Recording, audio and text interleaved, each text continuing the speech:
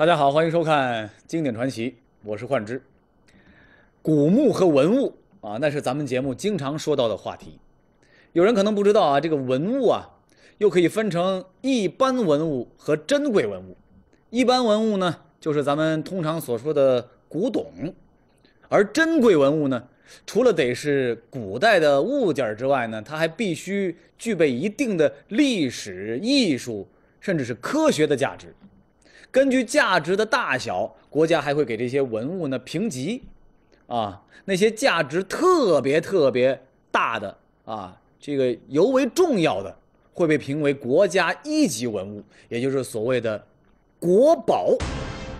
那国宝呢有很多啊，而咱们今天要说到的就是两件国宝的离奇故事。这第一件尤其不得了啊，可以说是国宝中的国宝。那么宝到什么程度呢？换之上中学的时候，历史课本的封面的彩图就是他的照片啊，在珍宝如林的中国国家博物馆里边，排在四大镇馆之宝第一位的也是他。那么，这究竟是一件什么样的宝贝呢？接着往下看，一九三八年春天的一个下午。家住湖南省宁乡县黄才镇的江景书、江景桥两兄弟扛着锄头就上了村子后边的转耳轮山。他们这天呢，打算在山上开一块荒地，好多种点红薯。干到一半的时候，老大江景书一锄头下去，只听得“砰”的一声，他双手震得直发麻。一开始啊，这江老大以为是锄头碰上大石头了。可等他们扒开泥土的时候，发现地底下冒出来的不是石头，而是一个黑乎乎、怪模怪样的大铜壶。这个铜壶啊，足有半米多高，方口细腰，腰的四个角上还分别伸出来一个弯角大羊头。虽然弄不清这个大铜壶是哪朝哪代的东西，也不知道它是用来干什么的，不过。通过铜壶上的斑斑锈迹，江家兄弟确定，这应该就是一件古董，而且个头那么大啊，估计能值不少钱。为了不让村里人知道这事儿，哥俩装作什么事情都没发生，继续在山上种红薯，直到天完全黑了下来，村里人都关门睡觉了，这哥俩才把铜壶装进箩筐，抬下了山。进村之前呢，他们还在河边把这个铜壶清洗了一下。在最远的路的挖出来以后了，带的话呢，就有路的啊，就是在国家档案的洗改的，洗改以后呢，它的色起来是个麦老色，哎，据当时在的二纳米几根，呃，到几纳米、五纳米，搞不清了后边是暗化的。最开始啊，江家兄弟呢，那是想把东西悄悄的出手啊，换点钱就成，是吧？谁也别惊动。可是没成想。他们在镇上一连找了好几个收旧货的贩子，人家都只肯按照啊废铜的价钱来收这件东西。你看，这奸商不少啊。无奈之下呢，哥几个就只好四处放风了啊，说自己在山上挖到了宝贝啊。你还别说，这招确实管用啊。几天之后，陆陆续续就有穿着体面的外地人上门来看东西。很古怪的，来来往看的人员就入住极少了，见到它矮化了，还是为啥古病呢？就到带很多人都来看，当时在屋里说做呀，要搞个什么那个要接待啊啊啊啊狗一样的。看来这个大铜壶确实是件宝贝啊！既然是宝贝，那可不能卖便宜了。江家兄弟商量了半天，一咬牙，一狠心，一跺脚。喊出了四百块大洋的天价，那个年头啊，干个县长什么的，干一年也挣不了四百大洋，这个价钱确实吓跑了不少的买主。最后还是黄才镇上万利山货行的老板张万利，他肯出钱。经过一番讨价还价，张老板花了两百四十块大洋把大铜壶给买走了。虽然说开价四百。还到两百四，但是也够一大家子好几年都吃喝不愁了。兄弟俩挺开心，挺高兴的。可是很快他们就知道，自己眼皮子太浅了，吃了一个天大的亏，让人家捡了一个天大的漏。当时在马赶出去呢，上午马赶出去，刚刚认出我的个外甥夫人呢，安化的楼道顶，他在打这句，那就是等于呢上四大必想打下去的嘛不，所以行得我的个家，呃下面这个就进球的定呢，听一个马给的，他就熬不过啊。那么，这把所谓的铜壶哈，到底是什么来头呢？万利山货号的老板张万利，除了干山货买卖，他还是个资深的文物贩子。此人眼睛非常毒，下手也狠。当时他一眼就看出来了，这个什么铜壶，其实是一件古代的青铜器。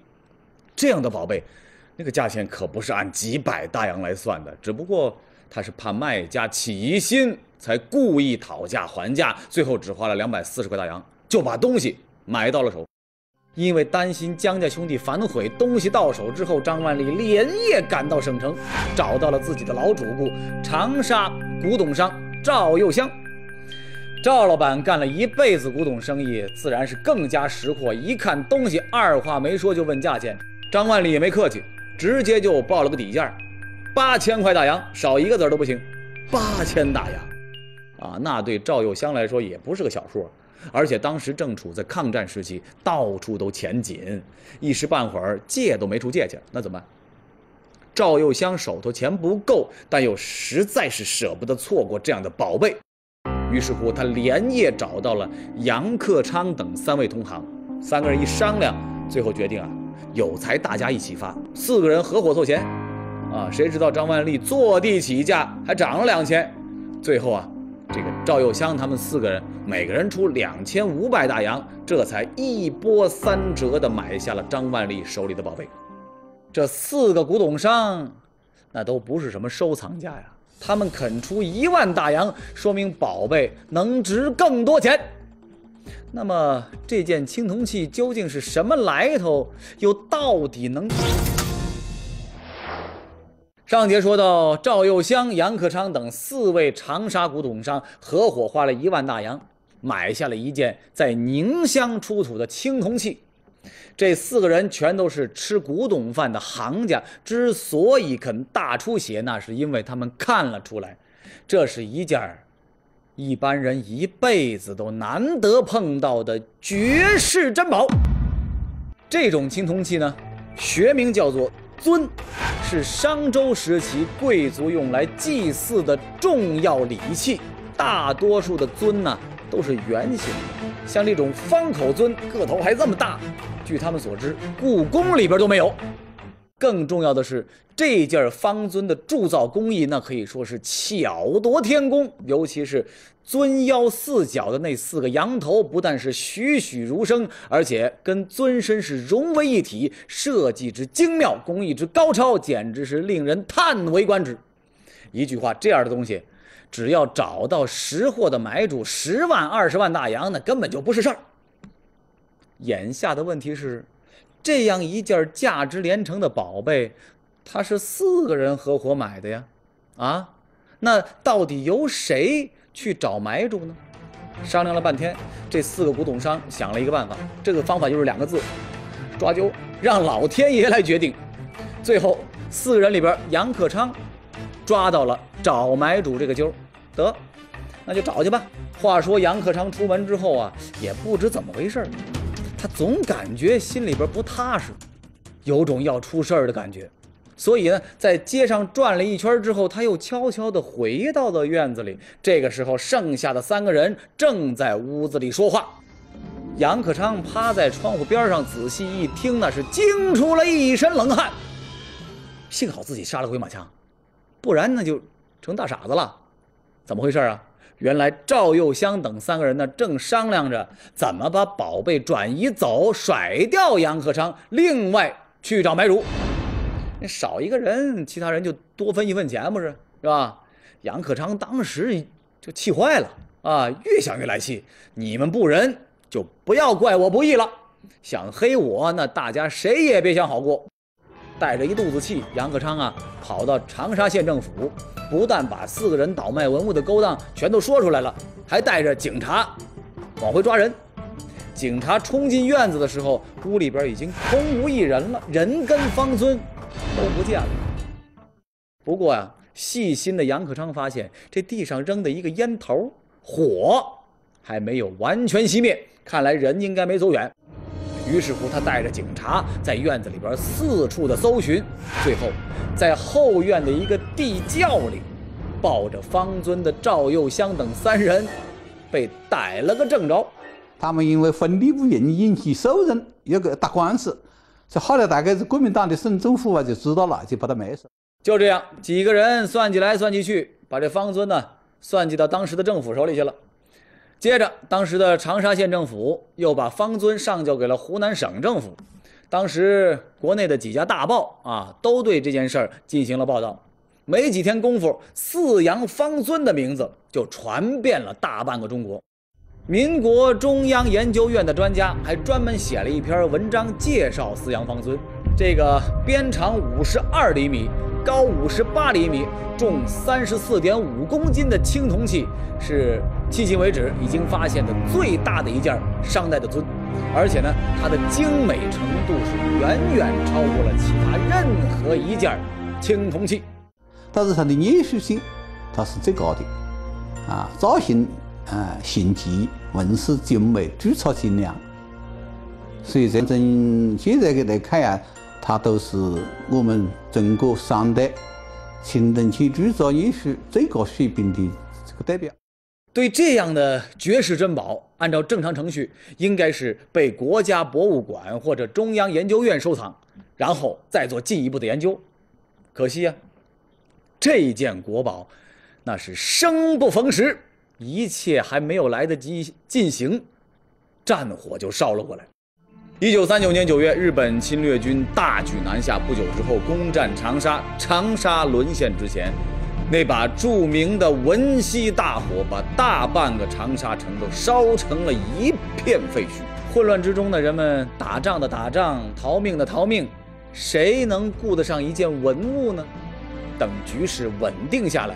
有人重新想起四羊方尊，到处一问，哎，这东西居然不见了。对于四羊方尊的下落，当时有好几种说法。有人说呢，长沙沦陷之后，他被鬼子发现带回日本了；也有人说他被国民党溃兵劫走，啊，卖到外国去了；还有人说这东西啊就藏在长沙城里。这些说法呢，听起来呢都是有鼻子有眼儿。可是仔细一查，又都无凭无据。总之啊，四羊方尊跟当时的另一件国宝北京人头盖骨一样，在战火中神秘失踪，从而下落不明。抗战胜利之后，民国政府曾经派专人调查过这件事情，可惜还是没有任何结果。那么，四羊方尊到底去哪儿了呢？这桩谜案。一直到一九五二年才水落石出，破案的还是咱们的周恩来周总理。日理万机的周总理怎么突然也关心起了这件事儿呢？原来一九三八年底，周恩来正好在长沙领导抗战工作，各大报纸关乎四羊方尊的报道呢，给他留下了深刻的印象。一九五二年，在听取文化工作汇报的时候，有专家无意中提起了。这个四羊方尊，周总理这才知道这件国宝居然已经多年下落不明，于是他立马找到了湖南省的相关领导，要求再次查找方尊的下落。总理发了话，湖南方面就立即组成工作组展开深入调查呀，总算是找到了一点线索。据知情人回忆，当年日军逼近长沙的时候，湖南省政府把四羊方尊送到了湖南银行的金库里。银行的金库啊，总会保险一点嘛，是吧？再后来，湖南银行又迁到了沅陵，四羊方尊就是在这段时间失踪的。而再往下查，相关的人不是死了，就是去了台湾调查呀，再也进行不下去了。看来。国宝还真的是人间蒸发，无从查找了。不过有句话怎么说的来着？“踏破铁鞋无觅处，得来全不费工夫。”有的东西你有心去找，那是怎么都找不着；可是你不去找它，它自己就出来了。还是在一九五二年，中国人民银行湖南省分行对国民党银行的旧仓库进行清理，无意中发现，在仓库里堆着几个木箱子。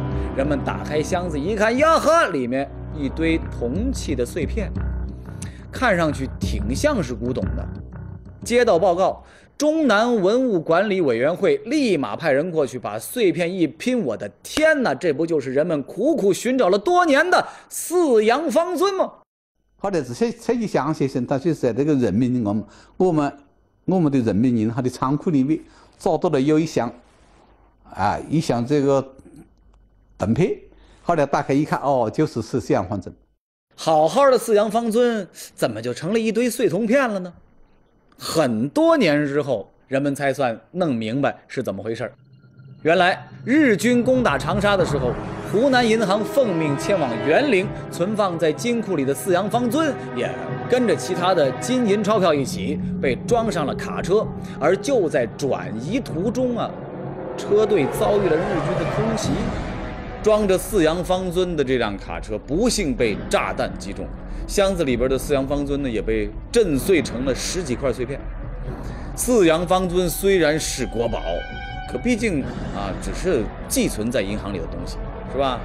出事之后呢，负责押运的银行工作人员那就不想给自己惹麻烦了，几个人谁也没声张，更没有上报，而是把碎片直接扔进了废品仓库。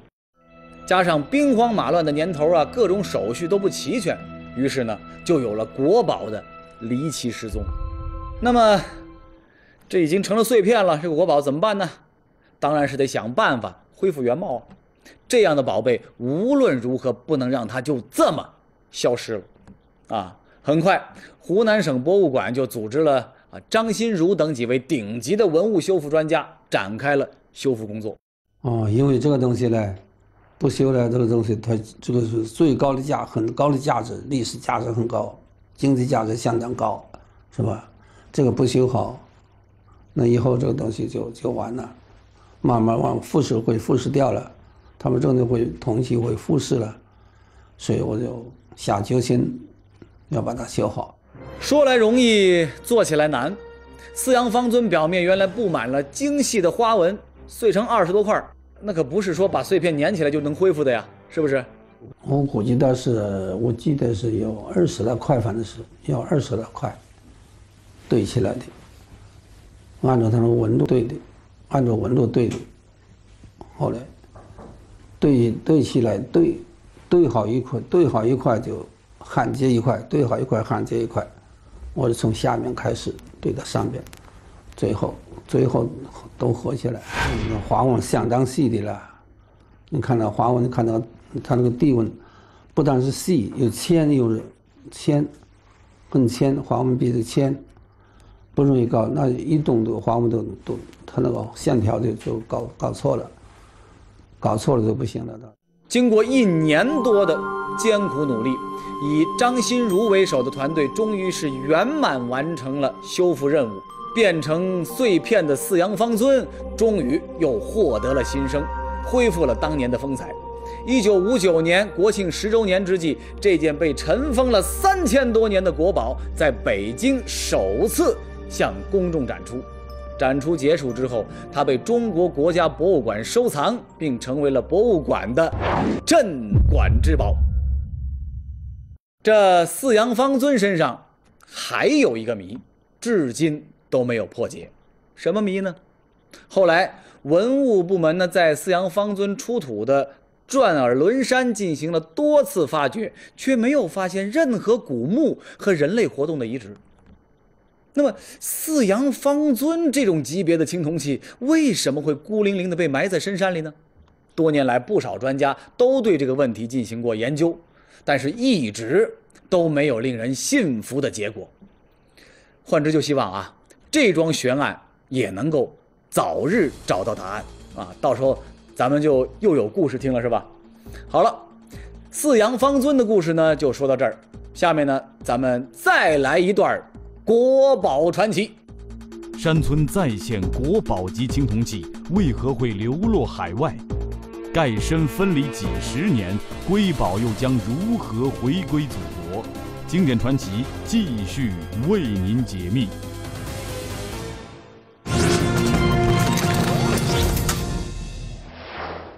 接下来的故事那也得从将近一百年前说起话说一九二二年春天某一天，在湖南桃源县七家河镇，有一个姓杨的放牛娃，一大早呢，就牵着牛到村子附近的小河边吃草。头天晚上刚刚下过一场大暴雨，这个放牛娃就发现河岸上有个地方被暴雨啊给冲塌了。在新土里边呢，露出了一点黑的发亮的东西，这是什么玩意儿啊？放牛娃跑过去一看，呀呵，好像是块铜啊！于是呢，他回家喊来了爸爸，爷俩一块把东西给取出来了。放牛娃发现的到底是什么东西呢？我告诉您啊，这不是什么破铜烂铁，而是一件带盖子的青铜器。当然了。杨家父子可不懂什么叫青铜器啊，他们就知道这应该是件古董，能换钱。啊，把东西拿回家之后，爷俩就开始四处寻找买主。有一个湖北的一个姓施的古董商人，他打听到他也出了这些东西，所以他在当地就去去寻访。他一天呢正好下大雨，就跑到一个老百姓家里，啊，就问起问起这个文物的事。正好正好，他那个一个小孩子在家。很快，这个姓石的古董贩子就见到了东西，一看，哎呀，这是件宝贝啊！于是他立马开价四百大洋，要买下这点东西。四百大洋，按说这不是一个小数。没想到，姓杨的农民一听到这个价钱，肚子里边又开始打起了小九九。买主开价这么爽快。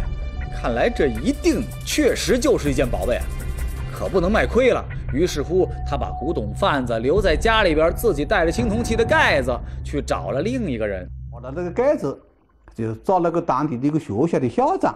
他说：“这个东西你看是什么东西？为什么低得呃四百块钱？”他说：“有一个人有一个人呢，把它要买买走了。”他说：“这个东西呢，过去八百块钱官呀，哎，你卖给我，他就把这个盖子，他就这个留下。”一听这话，老杨知道自己的东西值了大价钱。回家之后，他立马改主意了，不卖了。古董贩子一看买卖要泡汤，那也急了呀，花钱买不着，那就抢吧。趁老杨没注意，他抱起青铜器，撒腿就往外跑。一来二去，关键是还真给他跑掉了。姓石的古董贩子回到省城之后，立马就开始找买家，而他找到的买家呢，前面咱们提到过，就是长沙的。古董商杨克昌，杨克昌一见到东西，首先是乐坏了，但是一转眼脸又沉了下来。不对呀，东西是好东西，可是应该还有个盖子吧？你要是能把盖子找到，我出五万大洋收它。一听能卖五万大洋，这姓石的古董贩子那是又高兴又着急呀。东西是自己抢来的，盖子在老杨手里啊。总不能回去再管人要吧，是吧？怎么办呢？想来想去，他想到了一个办法。贩子回到桃源县城，托人联系上了国军驻桃源县的团长，叫周盘，请他帮忙呢，把这个老杨手里的盖子弄过来，并且许诺盖子一到手，马上付一万大洋作为感谢。一听说有一万块大洋，这周盘团长啊，立马就来劲儿了，他带上几个大兵。找到老杨啊，一番是威逼利诱，就直接把这青铜盖子给弄到手了。不过盖子一到手，这周盘也改主意了，一个盖子就值一万大洋，那整个东西能值多少钱呢？我不能只扔这个盖子钱。当时啊，他就想来一个黑吃黑，把这个姓石的古董贩子给扣了起来，搞到整件青铜器。幸好啊，这古董贩子也是个老江湖，善于是察言观色。一看情况不对，还没等这周盘动手，他就脚底抹油又溜了。回到长沙之后，古董贩子也不敢再做什么发大财的美梦了啊，还是落袋为安吧。他以一万大洋的价格把没盖子的青铜器卖给了杨克昌。杨克昌再一转手，这东西最后落到日本人手里了。呃，替身呢，听说是。觉得经过几几经辗转呀，觉到了这个日本一个日本大把的古董商人，而且把他们收藏了。因为古董商当时需要钱银，于是呢就卖给这个东京的一个古董商。后来这个郑经过头上来就把这个东西也拍卖。在那个年代啊，兵荒马乱的，像这样流落海外的中国珍宝还有很多。不过故事到这儿呢还没有结束啊。一九四九年，那个想黑吃黑的周盘啊，那个国军团长，在战场上成为了解放军的俘虏。为了将功折罪，这个周团长把几十年前的这个旧事也交代了，还把手里的青铜器的盖子交给了国家。后来这个周王呢，干活以后啊，就把他抓起来了。因为他大概抓起来呢，他就主动的把把这个东西就交出来了，交给了这个是省文革会，他的一个坦白材料。经过文物专家鉴定，这个青铜盖子呢，啊，属于一个名叫闽天全方垒的青铜器，它是极其珍贵的商代晚期的文物。如果能够找到器身，那绝对是国宝级的珍品。可惜啊。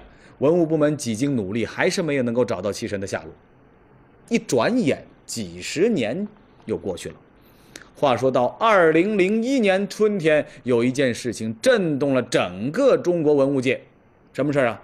在美国举行的一场文物拍卖会上，有一件神秘的商代晚期的青铜器拍出了九百二十四万美元的天价。这个价钱。当时可是创造了中国文物在国际市场价格的新纪录。这个东西是什么来头啊？有专家找来资料一查，哎，这件东西跟湖南省博物馆收藏的那个青铜盖子，不正好是一套吗？再详细一了解，一点都没错，拍出天价的青铜器，正是中国文物界苦苦寻找了多年的闽天全方雷。这件高八十四厘米、重四十公斤的商代晚期的青铜器，是商代皇家祭祀用的重要礼器，还是皇权的象征。这样的国宝级文物不能让它一直流落海外啊！